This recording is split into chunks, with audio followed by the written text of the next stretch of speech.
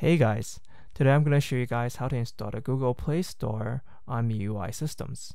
Here I'm going to show you the Play Store working. And it works in perfect order as you can see it loads and it loads without any errors whatsoever.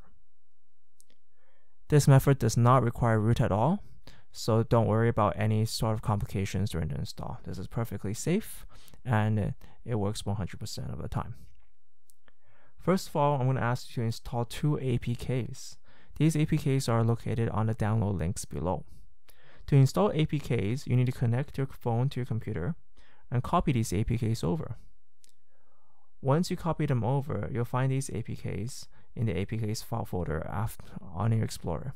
So as you can see, I got the Google Installer APK and the Chinese, uh, written in Chinese, Google Installer 2.0 APK. You have to install both of these, and since I have both of these installed already, um, I'm going to ignore this process.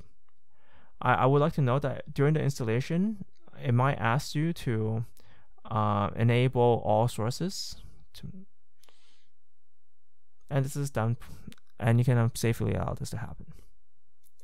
Once you got these two APKs installed, you're going to have to go through the play button lookalike one first, the Chinese one. Once you click it, it'll go through a one button install that's written in Chinese.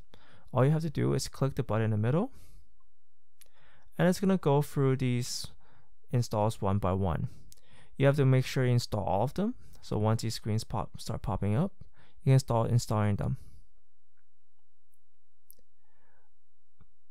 Do not click cancel at all because that will disrupt the installation process. The overall installation process will take around 10 minutes or so depending on your download time. Just make sure you accept everything. These are all the files required for, to get Google Play working. Once this is done, you're going to actually encounter a lot of errors. It's going to say, oh, you know, Google Play services has crashed, etc. Don't worry about it. Once you, I'm going to show you this install. Since I got it installed, I'm going to skip straight to the Google Play Store part. In the Google Play Store, it'll automatically update everything. That is why you don't have to worry about the initial errors that you're going to see. You're going to bound to see errors because the versions are not all up to date. So once you start updating it, and this is done automatically, just update, log in and update everything, you'll actually find that the errors will go away over time. So the first install actually installs the Google Play Store. But if you want to get additional packages installed, for example, if you want to start synchronizing your contacts, your Google Contacts with the contacts on your phone, you're going to have to use the second APK called the Google Installer. Here you're going to find all the actual um, Google apps and you can click the install to install them one by one.